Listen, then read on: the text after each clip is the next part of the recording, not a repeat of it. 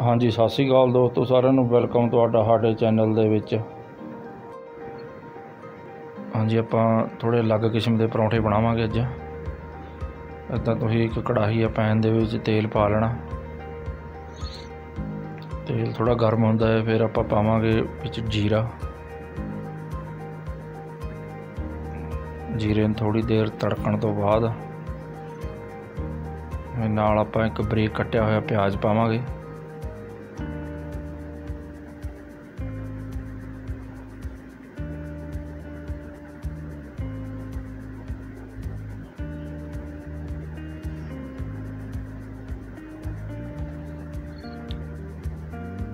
ਇਹਨੂੰ ਥੋੜਾ ਵਿੱਚ ਮਿਕਸ ਕਰ ਲੈਣਾ।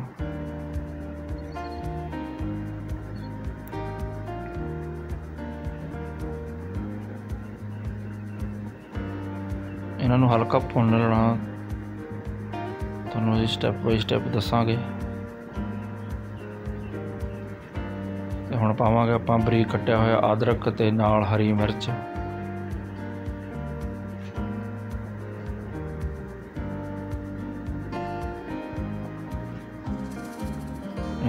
ਵਿੱਚ ਮਿਕਸ ਕਰ ਰੱਖੀਏ ਚੰਗੀ ਤਰ੍ਹਾਂ।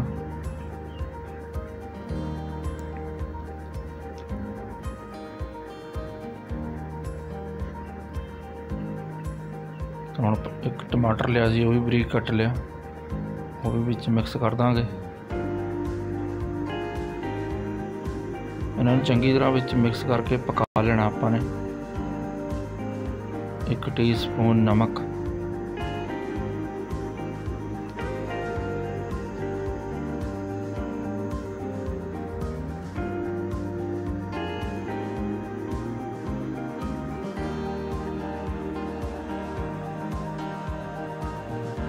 ਹਲਦੀ ਹਾਫ ਟੀਸਪੂਨ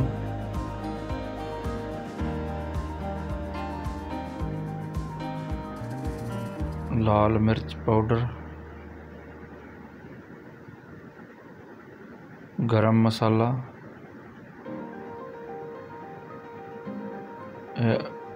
ਅਜਵਾਇਣ ਪਾਈਏ।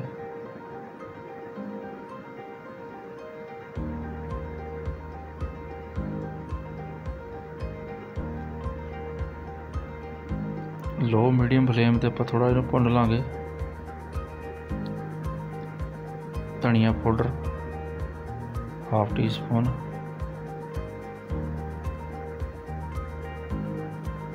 ਇਹ ਲੋ ਜੀ, ਆਪਣਾ ਮਸਾਲਾ ਤਕਰੀਬਨ ਤਿਆਰ ਹੋ ਚੁੱਕਿਆ ਹੈ। ਇਹਨੂੰ ਜ਼ਿਆਦਾ ਨਹੀਂ ਭੁੰਨਣਾ, ਤਕਰੀਬਨ ਥੋੜਾ ਹਲਕਾ ਭੁੰਨਣਾ ਹੈ। ਤੇ ਹੁਣ ਆਪਾਂ ਪਾਵਾਂਗੇ ਇਹਦੇ ਚ 4 ਟੀਸਪੂਨ ਬੇਸਣ।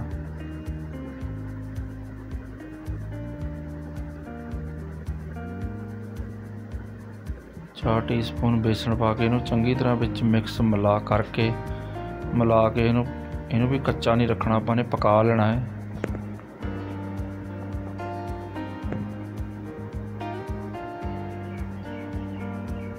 ਇਦਾਂ ਕਰਕੇ ਤੁਸੀਂ ਇਹਨੂੰ,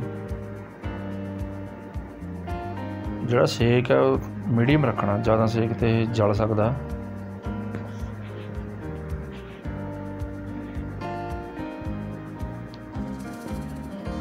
ਲੋ ਜੀ, ਬੇਸਣ ਵੀ ਆਪਣਾ ਵਿੱਚ ਮਿਕਸ ਹੋ ਗਿਆ, ਪੱਕ ਚੁੱਕਾ ਹੈ 1 ਮਿੰਟ ਲਈ ਪਕਾਇਆ। ਤੇ ਹੁਣ ਪਾਵਾਂਗੇ ਆਪਾਂ ਇੱਥੇ 200 ਗ੍ਰਾਮ ਪਨੀਰ। ਇਹਨੂੰ ਅਸੀਂ ਕੱਦੂਕਸ ਕਰ ਲਿਆ ਸੀ ਪਨੀਰ ਨੂੰ। ਹੁਣ ਪਨੀਰ ਆਪਾਂ ਵਿੱਚ ਮਿਕਸ ਕਰ ਦਾਂਗੇ। ਇਹਦੇ ਨਾਲ ਥੋੜੀ ਕੁਆਂਟੀਟੀ ਵੀ ਵੱਧ ਜਾਏਗੀ ਤੇ ਪਰਾਂਠੇ ਦਾ ਵੀ ਟੇਸਟ ਬਣ ਜਾਏਗਾ।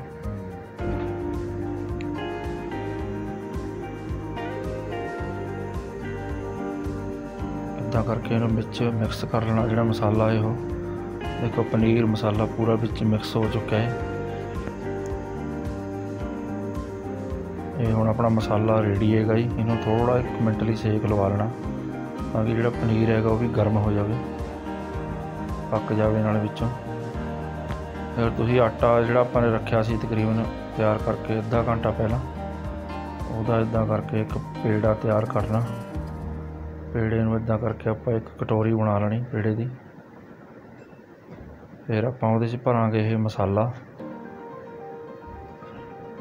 ਜਦੋਂ ਆਪਾਂ ਇਹਨੂੰ ਤਵੇ ਤੇ ਪਕਾਉਣਾ ਹੈ ਤੇ ਉਹ ਵੀ ਇੱਕ ਥੋੜਾ ਅਲੱਗ ਹੈਗਾ। ਤੁਸੀਂ ਦੇਖਣਾ ਤਵੇ ਤੇ ਇਹਨੂੰ ਆਪਾਂ ਦੋਨੇ ਸਾਈਡ ਤੋਂ ਪਕਾ ਕੇ ਫੇਰ ਹੀ ਘਿਓ ਵਗੈਰਾ ਤੇ ਲਾਵਾਂਗੇ। ਇਦਾਂ ਕਰਕੇ ਤੁਸੀਂ ਇਹਨੂੰ ਭਰ ਕੇ ਸਾਰੇ ਪਾਸਿਓਂ ਬੰਦ ਕਰ ਲੈਣਾ।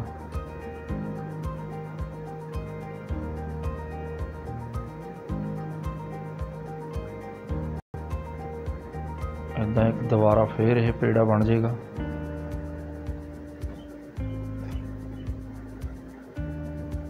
ਇਹਨੂੰ ਇਦਾਂ ਦਬਾ ਕੇ ਤੇ ਥੋੜਾ ਆਪਾਂ ਆਟਾ ਲਾਵਾਂਗੇ।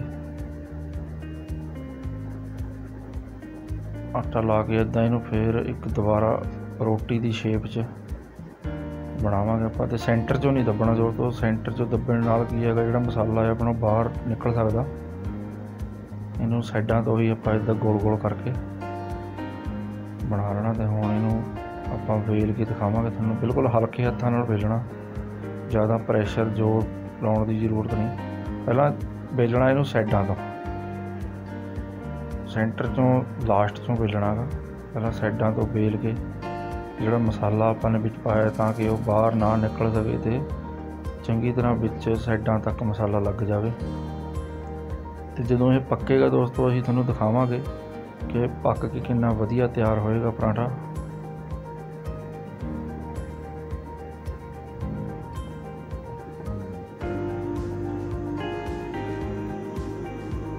ਇਦਾਂ ਕਰਕੇ ਇਹਨੂੰ ਵੇਲ ਲਿਆ।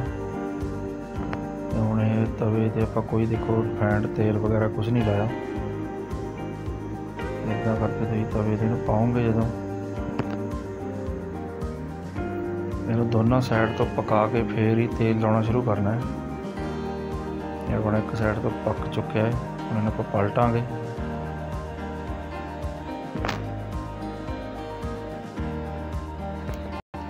ਲੋ ਜੀ, ਦੂਜੀ ਸਾਈਡ ਤੋਂ ਵੀ ਪੱਕਿਆ ਹੈ ਹੁਣ ਆਪਾਂ ਇਹਨੂੰ ਲਾਵਾਂਗੇ ਤੇਲ।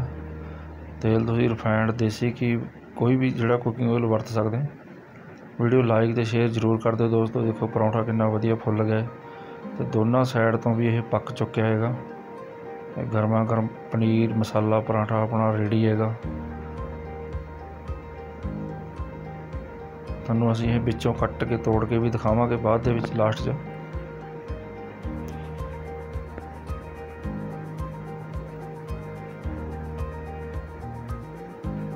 ਤੇ ਇਹਦਾ ਜਿਹੜਾ ਖਾਣ ਦਾ ਟੇਸਟ ਹੈਗਾ, ਉਹ ਇੱਕ ਥੋੜਾ ਜਿਹਾ ਅਲੱਗ ਬਣ ਜਾਂਦਾ, ਵਧੀਆ ਲੱਗਦਾ ਹੈ। ਇਦਾਂ ਕਰਕੇ ਆਪਾਂ ਹੋਰ ਤਿਆਰ ਕਰ ਰਹੇ ਹਾਂ ਇੱਕ। ਤੁਸੀਂ ਜ਼ਰੂਰ ਤਿਆਰ ਕਰਕੇ ਦੇਖਣਾ, ਬਣਾ ਕੇ ਦੇਖਣਾ ਕਰੇ। ਬਹੁਤ ਵਧੀਆ ਬਣਦੇ ਨੇ।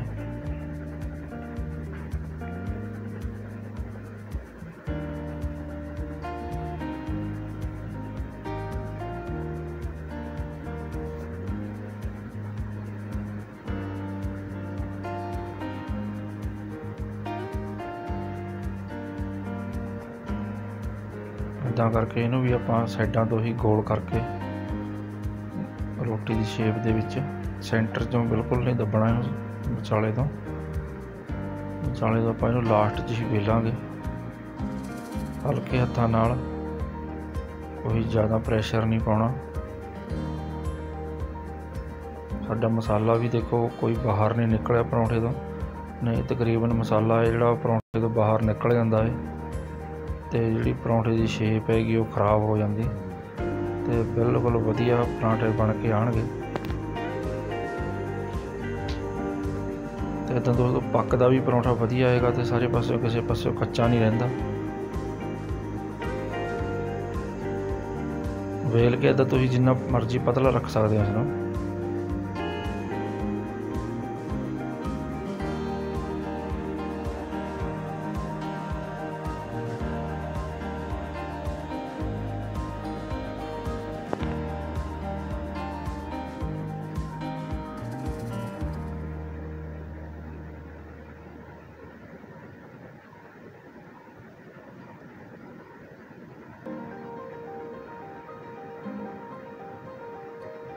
ਇੱਦਾਂ ਨੂੰ ਜਿਹੜਾ ਘਿਓ ਲਾਉਣਾ ਹੈ, ਆਪਾਂ ਨੇ ਦੋਨੇ ਪਾਸੇ ਪਕਾ ਕੇ ਫੇਰ ਹੀ ਲਾਉਣਾ ਹੈ। ਤੇ ਵਧੀਆ ਕ੍ਰਿਸਪੀ ਤੇ ਬਹੁਤ ਹੀ ਟੇਸਟੀ ਪਰਾਂਠੇ ਬਣਦੇ ਨੇ।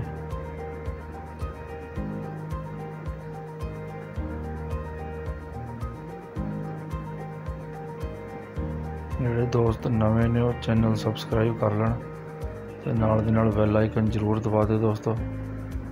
ਤਾਂ ਕਿ ਕੋਈ ਵੀ ਵੀਡੀਓ ਬਣਾਈਏ ਉਹਦਾ ਨੋਟੀਫਿਕੇਸ਼ਨ ਤੁਹਾਡੇ ਕੋਲ ਸਭ ਤੋਂ ਪਹਿਲਾਂ ਪਹੁੰਚ ਸਕੇ।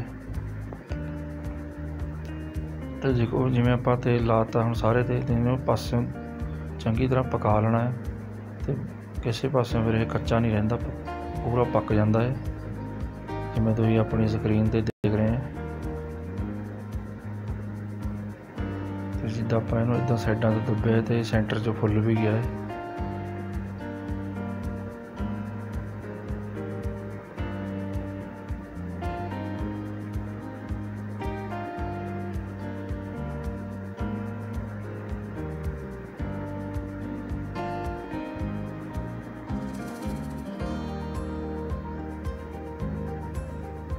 ਬਸ ਲਓ ਜੀ ਇਹ ਪੱਕ ਗਿਆ ਪਰੌਂਠਾ ਆਪਣਾ, ਇਹ ਗਰਮਾ ਗਰਮ ਸਰਵ ਕਰਨ ਲਈ ਤਿਆਰ ਹੈ।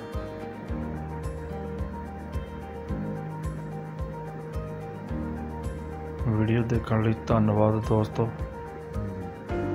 ਤੁਸੀਂ ਕਮੈਂਟ ਕਰਕੇ ਦੱਸਣਾ ਤੁਹਾਨੂੰ ਕਿਵੇਂ ਦੀ ਲੱਗੀ ਵੀਡੀਓ।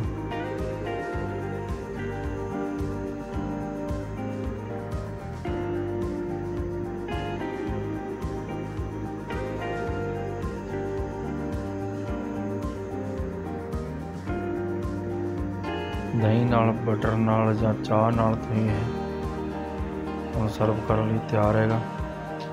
ਤੇ ਤੁਹਾਨੂੰ ਇਹ ਤੋੜ ਕੇ ਵੀ ਦਿਖਾਉਂਦੇ ਹਾਂ ਜਿਹੜਾ ਪਰੌਂਠੇ 'ਚ ਆਪਾਂ ਮਸਾਲਾ ਭਰਿਆ ਸੀ, ਉਹ ਬਿਲਕੁਲ ਤੁਸੀਂ ਦੇਖਦੇ ਹੋ ਕਿ ਬਾਹਰ ਨਹੀਂ ਨਿਕਲਿਆ ਤੇ ਵਿੱਚ ਮਸਾਲਾ ਪੂਰਾ ਇਦਾਂ ਪੱਕ ਚੁੱਕਿਆ ਹੈ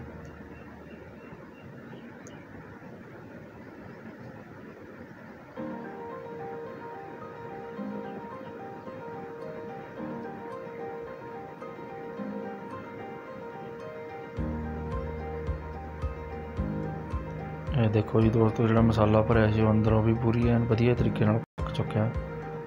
ਤੇ ਤੁਸੀਂ ਦੇਖੋ ਇਹ ਵੀਡੀਓ, ਤੇ ਮੈਨੂੰ ਦਿਓ ਇਜਾਜ਼ਤ, ਮਿਲਦੇ ਆ ਕਿਸੇ ਹੋਰ ਵੀਡੀਓ 'ਚ। ਧੰਨਵਾਦ ਦੋਸਤੋ।